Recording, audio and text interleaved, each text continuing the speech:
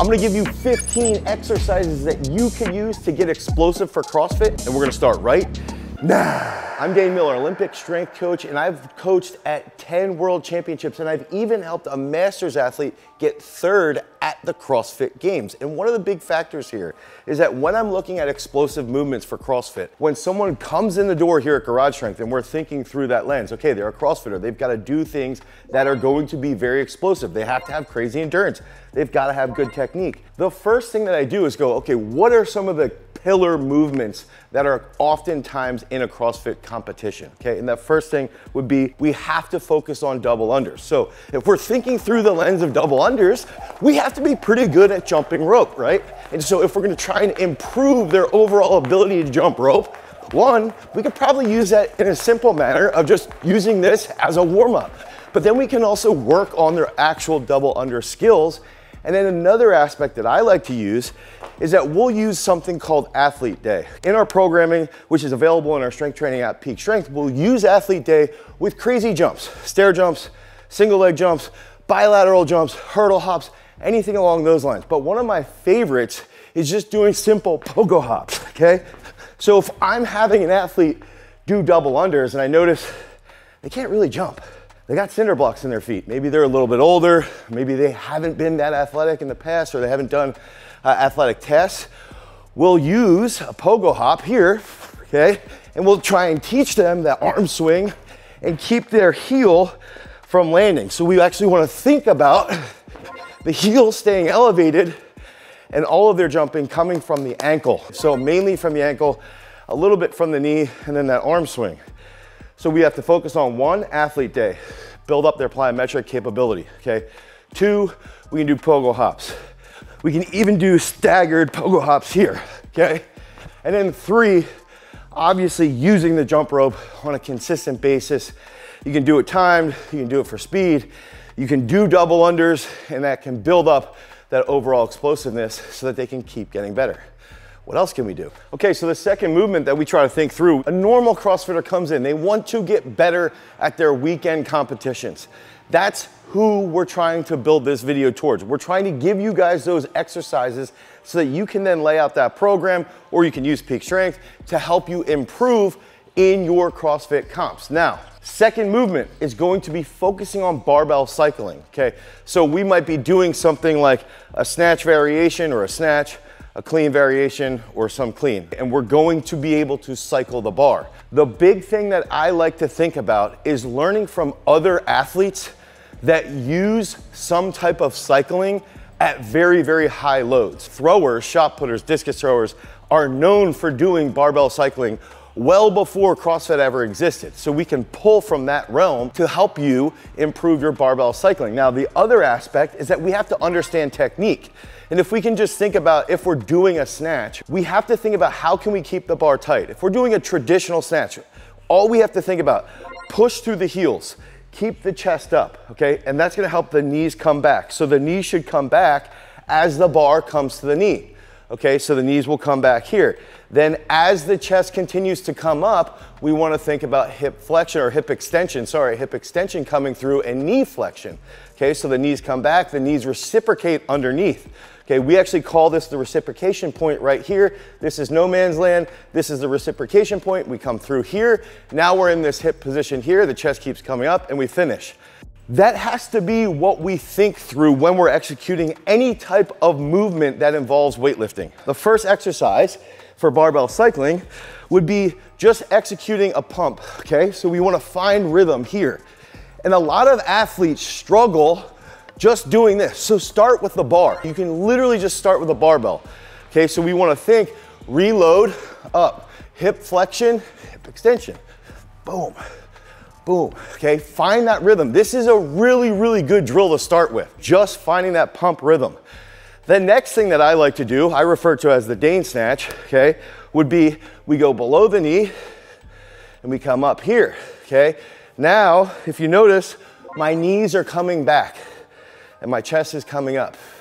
And all I'm thinking about is this pump position here, and then we get into the snatch. Oh, my shoulders, I'm so tight. So the first two movements to improve your barbell cycling are going to be those pumps, Find the rhythm, find the rhythm, find the rhythm, keep it tight. Don't let it pull you forward, and that's gonna improve your barbell cycling. So, it could look like this with weight on. So the pump snatch would look something like this, where we're here, we go one, two, three, okay? That could be a version that you use to improve that overall feeling in the catch or the feeling in the pull. Bring that down, if we're gonna do a Dane snatch, it'd be one, two, three, okay? So that's a way to help improve your barbell cycling. And then after you do the high pumps, and then after you train with the Dane snatch, then over time, you can lead into that barbell cycling. But the main goal then is when we're executing the barbell cycle, is trying to keep the chest up.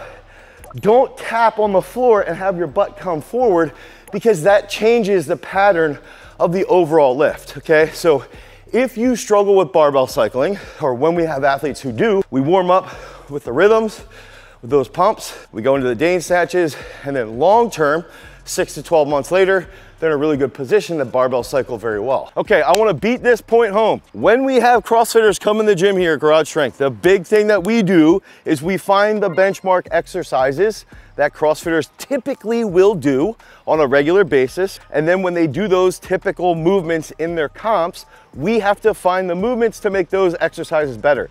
Double unders was the first one, right? The second one was barbell cycling. The third one is sprinting. Sprints often happen, they could be 400 meters, 800 meters, not technically a sprint, but these things happen pretty regularly. Even between barbells, we've got to think about accelerating as quickly in our sprint to the next barbell if we're in a ladder, anything like that. So the first aspect is how do we get better at sprinting? Number one, CrossFitters, you guys are gonna get triggered and comment down below and you're probably gonna talk trash on me, but you don't really know how to run. You sort of remind me of watching wrestlers run just learn some decent mechanics of acceleration. We wanna think about putting force down into the ground, get a little bit of a chest lean, and we wanna think about extending without this heel sort of dropping. Oftentimes, and I know that you are under a lot of fatigue, we'll see sort of that heel drop, and it's just like almost like a wave watching you run. Again, very similar to watching a wrestler run. We can focus on movements that will improve your sprint, okay? So the easiest way to do that, one would just be go out in the field and sprint once a week, five to 10 reps of 100 yards. That's gonna be fantastic. But one of my easiest ways, or one of the easiest ways that I think that you can get yourself to run faster is to regularly engage with resisted sprinting. So that can be using a 1080, that could be using a sled. And then after I give you this one here, we're gonna go into the absolute best way to improve that sprint. So we can do something like sprint 10 yards or 15 yards here with a weight, okay, but usually about 10% of your body weight. I do wanna include that here because CrossFitters, you guys love to work. You love to freaking train hard. You love to crush it. You love to get your heart rate through the roof. You love to brag about it and tell everybody because you guys are freaks. You don't need to put 150 pounds on the sled though and brag about it. So that's the first aspect. Just take about 10% of your body weight and I'm gonna sit here and I'm gonna try and sprint here. So we can focus on how we're driving to improve our overall sprint mechanics. The second part of this, like I mentioned, you don't like to do things easy because there's a cool aspect of how much work you guys do. But in this case, if you notice, I'm resting, okay? If I wanna get faster, I should be taking a rest. As crazy as that sounds, if we can do a sprint and then rest for two to four minutes, we're gonna focus on getting faster. So a sprint session for CrossFit needs to focus on that quality of getting faster, not on the quality of endurance. So you sprint there, rest two to four minutes, sprint again. That's gonna help the quality of your speed improve. And it's gonna take time, it's just like endurance, it's gonna take a long time. Then another thing you can do outside of the resistance sprints is do hill sprints. You can use hill sprints twice a week and you can use it one as an endurance aspect and then two as a way to improve your overall speed. But again, when you're focusing on speed, focus on the rest. And when you're using a resistance sled, 10% of your body weight should be perfectly fine. And then finally, again, try and engage with those proper sprint mechanics. And this is all gonna help you guys run faster inside those comps. Okay, a little bonus to the sprint section is that CrossFitters don't usually do a lot of unilateral strength work as far as like single leg squats because it's usually not in the games or it's not in the comps. One thing that's like a little cheat code to developing a lot of strength on the posterior chain and helping with speed is gonna be doing a single leg squat. So if I get in position here, this would be what I, I refer to as a single leg squat, right? So I get here and I might do like two or three reps. Now, one of the factors that I really like when I'm using weight, I'm gonna demonstrate here shortly, is that I want to do unbroken reps. So if we're doing unbroken reps, I've got to focus on my trunk a little bit more. And if we're on a specific day of training, so inside Peak Strength, which is our strength training app, we'll use Impulse Day where we'll do unbroken single leg squats. And then we might rest 30 to 60 seconds. And then we'll either do a plyometric or we might do resisted sprints like with the sled. And that's one of the big aspects around peak strength is that we're trying to think through the scenario that you're in as a specific athlete. So inside of peak strength, you can actually select specific sports that you want to train for. And in this case, that impulse day would be focused on the qualities that you need to be a really good CrossFitter in that case. Okay, so this would be what an unbroken set would look like. We'll get in position here. And I'll go one, two, three, okay? And we try and focus on good concentric movement as stable as possible on the eccentric so that we can then light that up and drive back up. Oh, that was not as good. I was a little clunky on that. But use that unbroken single leg squat to improve your overall speed. This is a roller that we have here available at garagestrength.com. This is something that's super stable that you guys can use to increase your strength in your hamstrings and your glutes but then also improve your overall speed. Okay, remember we're going back to those exercises that are often used in competitions and then we're trying to make you more explosive in those specific movements. Now, the next aspect that I'm gonna focus on is being explosive from a deep position. Okay, so let's think about if I'm in a deep position here and I jump, okay, here and I jump, here and I jump, right? That's gonna transfer really well to something like barbell thrusters. It's also gonna transfer well, even if I'm doing like burpee and I have to jump over a barbell or something like that, or, or jump forward, or just jump over anything. That's often what we see in comps, okay? So we have to be ready for that. So I have a couple progressions that I like to use. One would be just starting with something like this, and this is where like, if you have a longer athlete who they're probably gonna be more explosive, okay, but they might be weaker in certain ranges like mid-range, almost where I am right here, uh, a little bit higher probably, but in this case, this is sort of like my dead zone if I'm squatting, okay? It's hard because I like to get a good bounce out of the bottom. So for me, or for an individual who is longer, if you struggle with that, you can get more explosive just by squatting here, okay? And you're gonna lose a little bit of that stretch shortening cycle, but then you have to use your arms more to jump. So you can get comfortable just doing a squat jump here, okay? So you can sit to a box and jump. So that's one way to get better at jumping from a deep position. We can progress that into, let's say, I do a squat and jump to a box. Maybe week one, you wanna land on a box, uh, hips land above the knee, and let's say that you're jumping to a 30 inch box or a 38 or a 42, whatever it is. You can just work on that aspect, that technique, okay? Then another thing would be we can do, I'm gonna back up a little bit here, something like a squat to the box, into the hurdle hop here. I'm gonna get back and I wanna improve that ability now. I'm gonna improve my ability to squat off of the box but then be explosive on that touch and go in the middle. So be here, boom, boom, boom. So we wanna get really good at that aspect. That's something, again, inside peak strength, you're gonna see that on athlete day.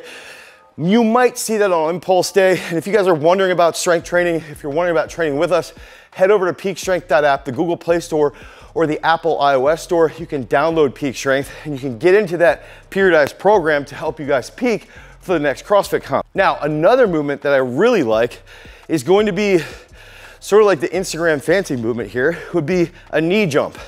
And when I do a knee jump, I want here, okay, I want my foot flat. I can cheat a little here when my toes are down. When I go here, it's a lot harder. And I wanna lengthen my quads. I'm gonna feel a little bit of a stretch in the top of my ankle here. Okay, and I just wanna think about good arm swing. And what's interesting with this is we're in a deep position this is gonna help us accelerate a barbell really, really freaking well, but it's also going to improve our ability to be more explosive. So we can just get set here and go boom, okay? And we got our raggedy garage strength towel here. Boom, okay? So that's the first progression of this. The next thing that we can do would then be here, and again, we can go up to a box or I can do a bound. I can go here, boom. So we wanna work through being explosive from a really deep position. You can do this squat to the box, squat to the box to a box, jump to a box, squat to a box, hurdle hop. You can get into the kneeling jumps, kneeling jump to bound. And I got a strength movement that I'm gonna show you now that's also really, really good for getting explosive out of that bottom position, which can improve one, your jumping ability, but also your strength in that thruster. This is going to be using a back squat position. And in this case, I would use a high bar full range of motion back squat. If I'm in a CrossFit comp and we're doing like, let's say a squat ladder, I would make the argument that you probably should squat low bar. Maybe you still go full range of motion depending upon the rules of, of, of the degrees and who's judging and things like that. If you're in a session though where you're trying to improve something specifically like explosiveness, then you can do something like this, okay? So one, I'm gonna show you an unbroken set. So let's say I have, let's just pretend I have a lot of weight on the bar, which I do not have a lot of weight on the bar, but I do an unbroken set of three. So I'll go here. Okay, one variation that I really, really like would be, and this is gonna help your deadlifts and your cleans and being explosive out of that very deep position, would be a pause into unbroken. So let's say we do like this. One, two. Okay, so that's another variation. And then finally, one thing I really like to do is take percentages of someone's max. So let's say someone max is 200 kilo back squat. Let's take 80% of that and they gotta hit that for a double. And we're gonna time it. We're gonna time the double to see how they're feeling, how they're improving, how strong they're getting out of that stretch shortening cycle on the bottom. So we go here, start the clock. Okay, so you have timed you have unbroken, and the thing is, is that an unbroken set is slightly different from a time set based off of the fact that you might have a prescription of a load, things like that. The pause into the unbroken is freaking awesome for improving that strength out of the bottom and also improving your deadlifts. And this is like one of my all-time favorite ways to execute a high bar back squat to then lead to greater performance in the CrossFit world. Okay, so now we're gonna go into everybody's favorite, the top two kipping pull-ups, muscle-ups. And I don't care, I'm not gonna come out and I'm not the strength coach that hates kipping pull-ups or muscle-ups. I mean, obviously I think muscle-ups are great, but also kipping pull-ups, I don't care if you do it, it's part of the sport. So we've gotta train it. With that being said, I think there's a couple things that we have to focus on is that if we have an athlete come in here and they can barely do, let's say, three or four or five pull-ups, dead hang, then we need to improve that aspect. Okay, we don't necessarily need to do kipping pull-ups to the T like all of the time. Yes, we should still do them because that athlete who could only get three to four uh, dead hang pull-ups might be able to get close to 10 kipping pull-ups. But we need to make sure that their shoulders are strong, their lats are strong, their biceps are strong.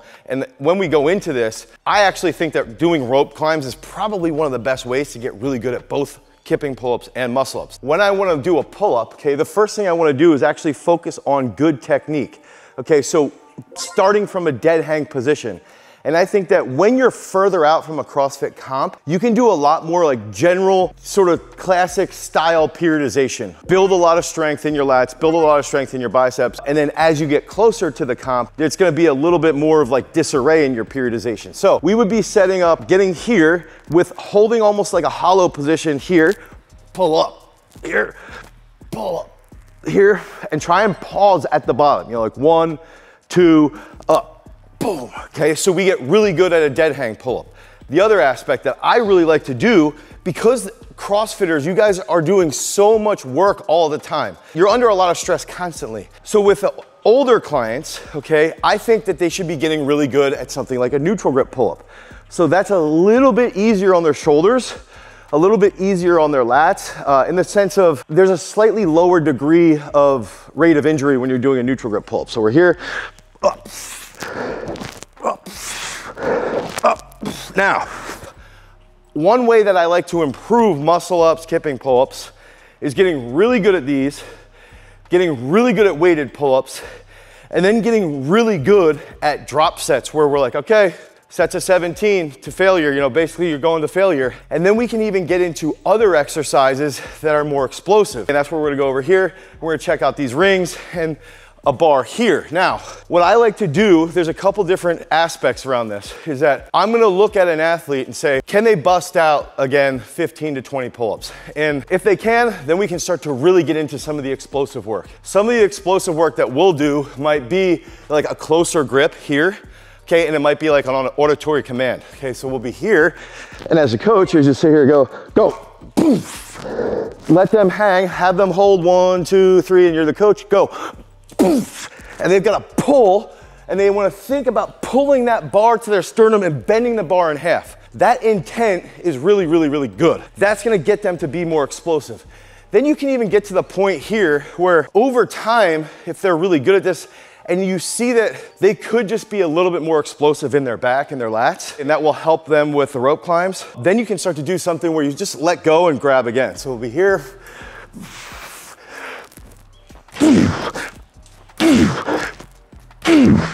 Okay, and even there I had a little bit of a kip. So you start to use explosive pull-ups with a little bit of a kip and that's gonna transfer really well to when you do kipping pull-ups, when you do muscle ups. It's gonna help you be more explosive in your lats, but you've gotta master just doing a proper dead hang pull-up. Then you have to master a proper dead hang pull-up with weight. Then you start to work into those drop sets, neutral grips, chin ups, normal pull ups to failure. Okay, then you can get into the auditory command. Then you can get into like letting go and catching. And then you get more into rope climbs, donkey kongs, anything along those lines to help you get more explosive, specifically for kipping pull ups and for muscle ups. All right, so now we're looking at deadlifts, okay? This is a big one because I think, especially if we're on like a ladder or a rep ladder or anything like that, if we can really master deadlifts, it can be a huge, huge push for where you're at uh, in a CrossFit comp. And we haven't even really gone into any endurance type stuff or even a ton of work even around thrusters. So let us know if you want us to go a little bit further in that regard. Now, with the deadlifts, one of the best things that we can do is think about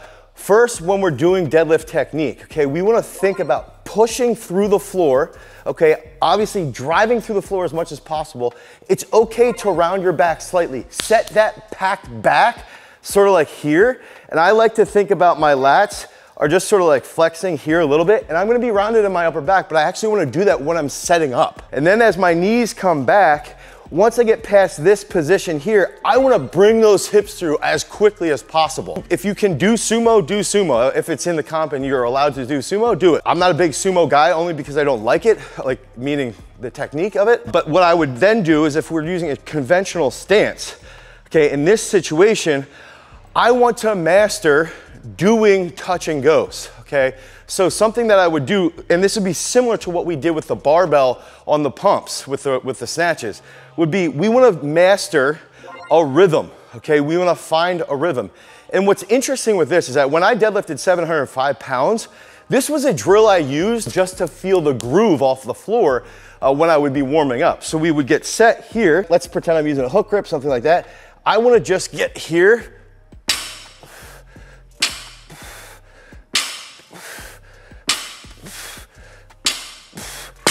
And we're just doing like a simple Dane deadlift there, okay? Like up to the knee, back down, up to the knee, back down, up to the knee, back down. And then we can even do that from a floating position. Okay, so if you do that from a floating position, it might be like this. What's interesting is that when you float, when you're hitting it from a floating position, you're gonna keep the bar even tighter. So it's really, really good to use this as a pattern warm up, as a way to feel that initiation right off the floor, to have the, the knees come back and to have that chest start to rise. I also mentioned the single leg squats earlier. A lot of athletes and some CrossFitters you'll see when they fatigue, they struggle to really lock out. And that's where we see these CrossFit meme videos, right? Where they just look terrible on the lockout of a deadlift. The single leg squat is going to really help the glutes learn how to extend through at the top of a deadlift. So that is a really good variation or a good assistance lift.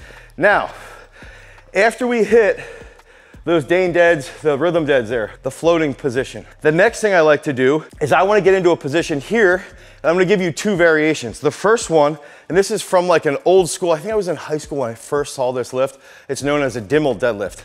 Uh, we would have powerlifting comps at my high school, and this guy would come in and say, This is the best way to finish a lockout. So for CrossFit, you guys are doing a lot, oftentimes, like super high reps.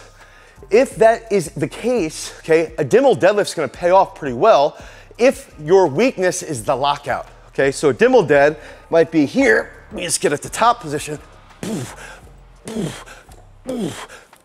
And you might go sets of 17 to 25 reps, just cranking it, okay? Now, a lot of you probably like to use rack pulls, like rack pulls from the knee. I think they're the most overrated pulling exercise in the history of the world. I've seen guys deadlift from a rack position like 700 pounds, they can barely pull 500. I don't think it's worth your time, especially in a sport like CrossFit where you've got to be very precise with your exercise choice, okay? I think a Dimmel dead is gonna be way better, and the next exercise I'm gonna give you later is the best for the lockout, okay? Now, I showed you the Dimmel dead there. This one here, this isn't the best one, but this is one of the best, is going to be a slow eccentric touch and go. So I would have here, in this position, I'm gonna get set, come up, one, two, three. I almost wanna give a little bit of that, that little Joel Seedman tap. Right there. Okay, so we actually use a slow eccentric boom, slow eccentric boom. And that enables us to get a little bit of momentum off the floor. And if we're controlling the slow eccentric, we're gonna feel the motor pattern a lot more. So as we get back off the bounce, the bar's gonna be really tight. Get really good at that. And then finally, this is my favorite, okay? So I mentioned earlier when I pulled 705, I did a lot of the, the Dane deads like that rhythm dead off the floor as a warm up to sort of feel where I wanted to be. This movement was the back end version of the Dane deads, okay?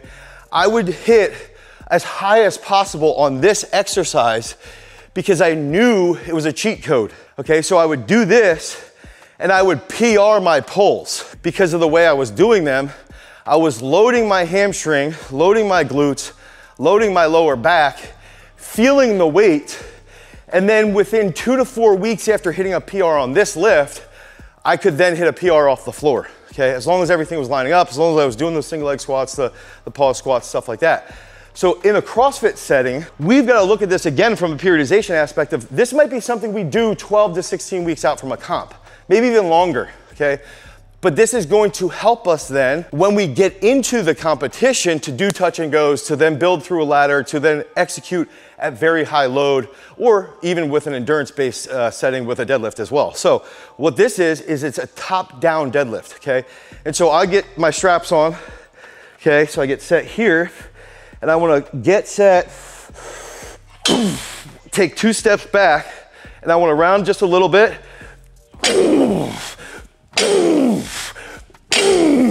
and then I actually walk it back in. And I am not lying here.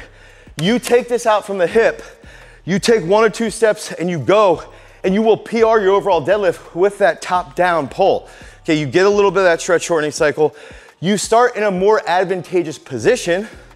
So you're here, and then as you go through the eccentric, everything starts to wake up your brain is aware of what it has to do to then lift this back up because it's already lifted it. It's already in this position. The hardest part of the deadlift is off the floor because your body isn't aware of what it has to do yet. So you're pulling on this from a dead position, dead lift, right? A dead stop. So it takes a while for your brain to recruit. You're already recruiting in this sense. So if you're struggling, you're at a plateau, use the top down deadlift. This is gonna help you PR your dead. It's also a movement that you can do for like 10 to 15 reps at pretty high weight, and it's gonna help you improve your overall explosiveness in the sport of CrossFit. If you guys need help with your training, head over to peakstrength.app, the Google Play Store, or the Apple iOS Store, because remember, freaks, if you wanna become a champion, you've always gotta cultivate your power. Peace.